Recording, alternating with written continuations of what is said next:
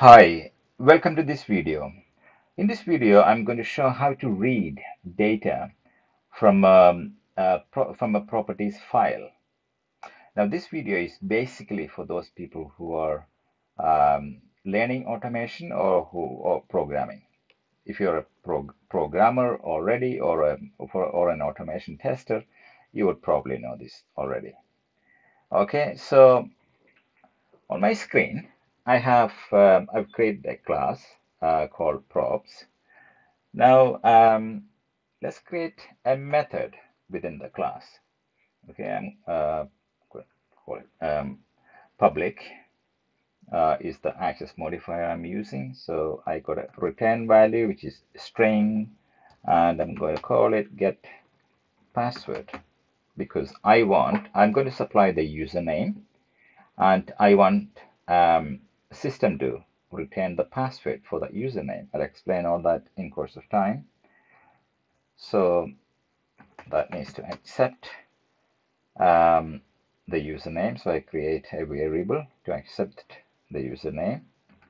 And I'm using camel case. Obviously, if you if you don't already, um, the standard is to use camel case. This is camel case. The first letter would be of the variable would be um, lowercase and then the successive words would be um, start with capital okay so that is the method let's add some lines there now I'm going to tell the tell Java um, setting file. so I'm going to tell uh, that's just a variable I've created to store the path the path of my properties file. So this is my properties file. Okay, so I need to tell the system the path. So I'm going to um, put a slash. I'm going to start from here source.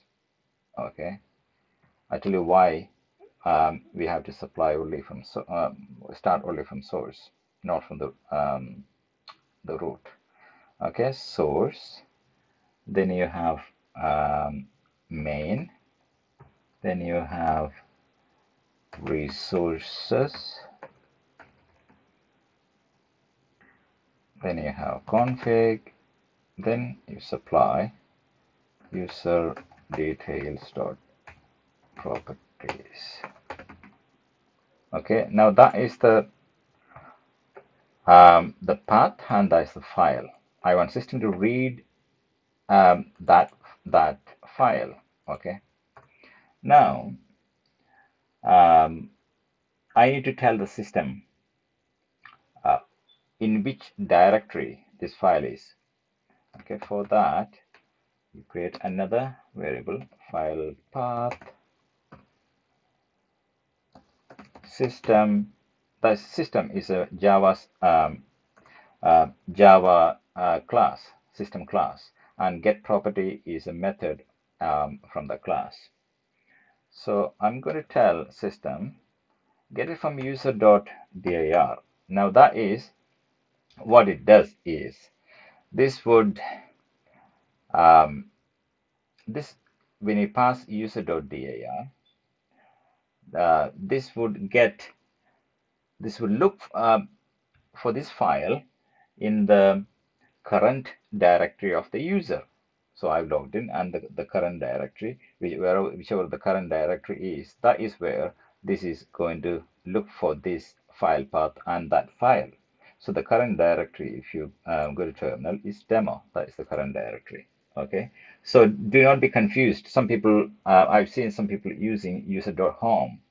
So uh, user.home will uh, will be the the home directory so that's different to the current directory of the user. So this is to get the current directory of the user of the logged in user, which is me. Okay, then I'll say um, setting file path. Now that'll have the, the folder because you don't want to ex explicitly uh, supply the directory. You could you could do that here if you're certain that is the directory.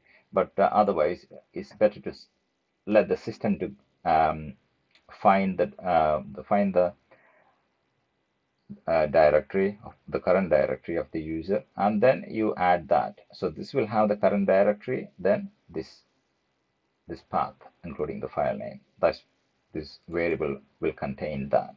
Okay?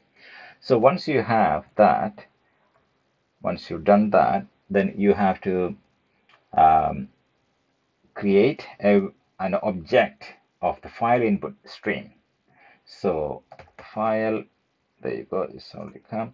File input stream. There are different ways of doing it. I'm just doing it this way okay?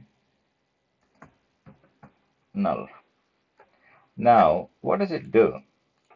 So this actually file input stream is itself a class okay? So that's a java class. Now this would um, I'm what I'm doing I'm creating a variable of that class and I'm assigning null to it. Okay? Um, so file input stream is uh, is used. It, it actually um, uh, creates an input stream by opening a connection to the actual file. Okay? That is why we're using we're using that to open a connection to the actual file. You will see that in a moment. Now I'm using a try catch because use try catch um, you know in case you can't find the file the the error will be caught. That's the purpose of using um, try catch. File path. You supply the file path here. Okay. And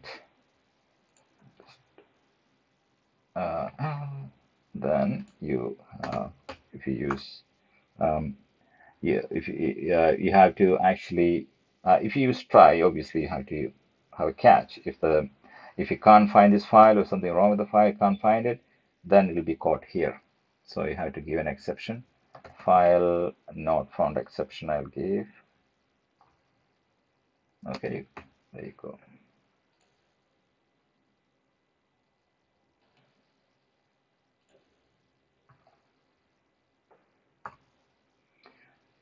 Okay so that is that. Now um, here you can actually type if you if you want to print out the error you can you can do that. So the e dot print stack trace. So that will print out. If you can't find the, the stack trace will be print printed out. That's that's why you're using that. So here what what have we done here?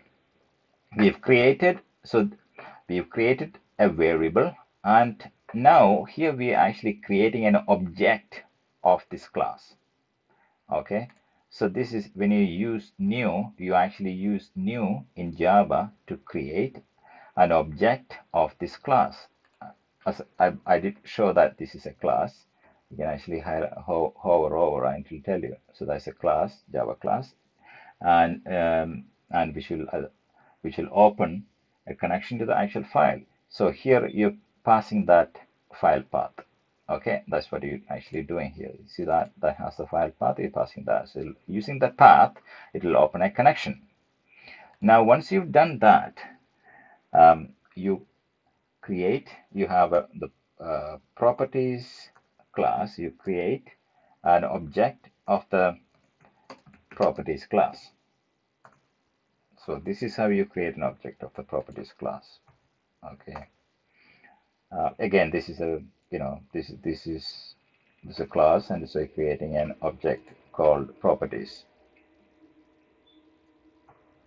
So once you've done that again I'm going to use a try catch properties dot load um, file input system. So you're loading that. Let's let me just add um, the IO exception here. I'll come back to it and explain. Dot factories. There you go. Okay. So here, using the um, using the property uh, properties variable, you create created a new um, new property here.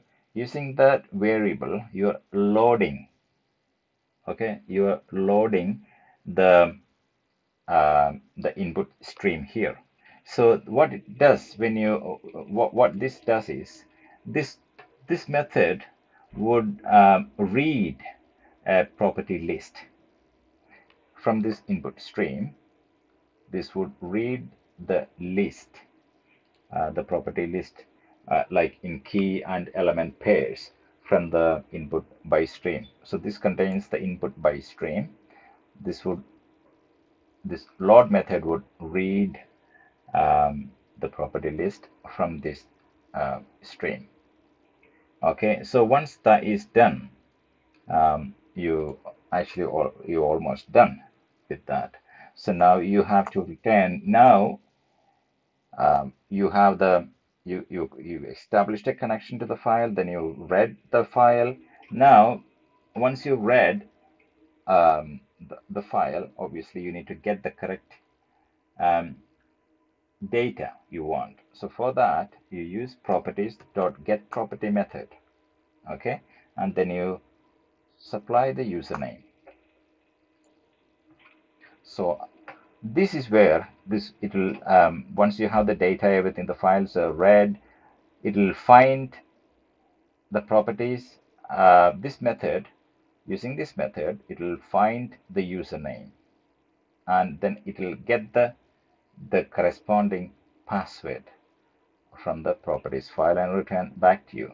Now the if you look at the um, the properties file you have the demo user and the the password. This is what we are after.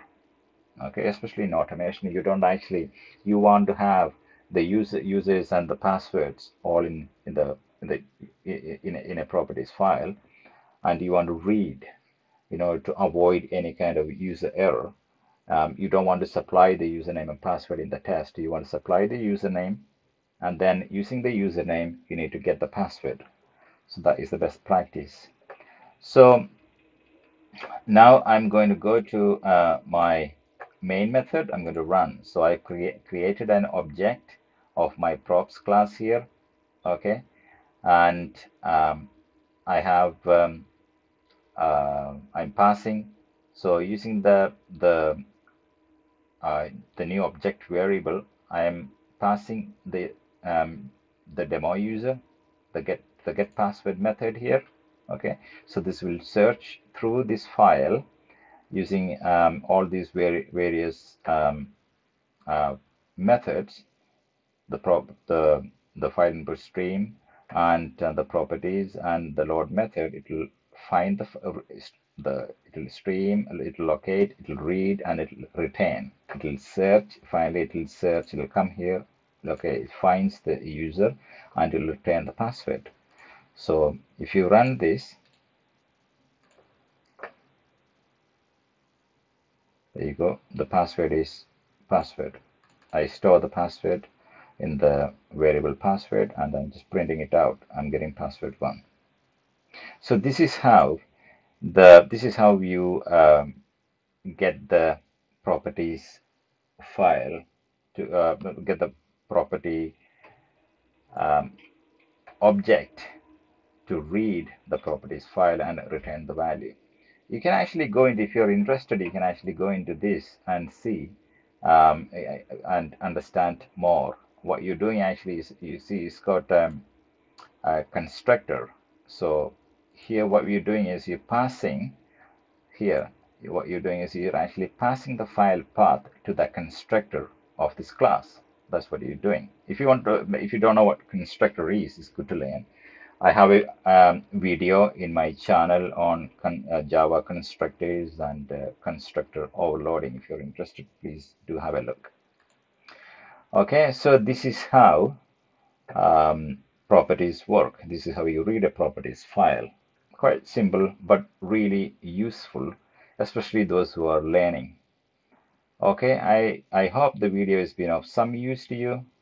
Um, if you found it useful, please do subscribe okay thank you so much bye bye